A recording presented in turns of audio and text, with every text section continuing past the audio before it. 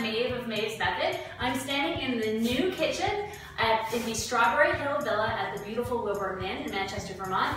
And this space saw quite a transformation. So when I first walked into this room, it kind of looked like the Duggar's kitchen. There were three huge tables, tons of chairs, a lot of furniture, very crowded.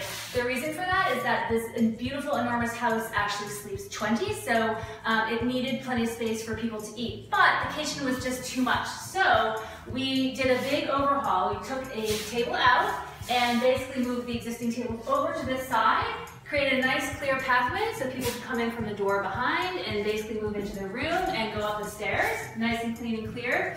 Um, we also matched all the furniture, it was a little bit disparate, so we've got matching colored light wood tables here and here, and kind of cleaned it up with some decluttering and some pops of color. So this artwork was actually here, but we then balanced it around the room with another painting here.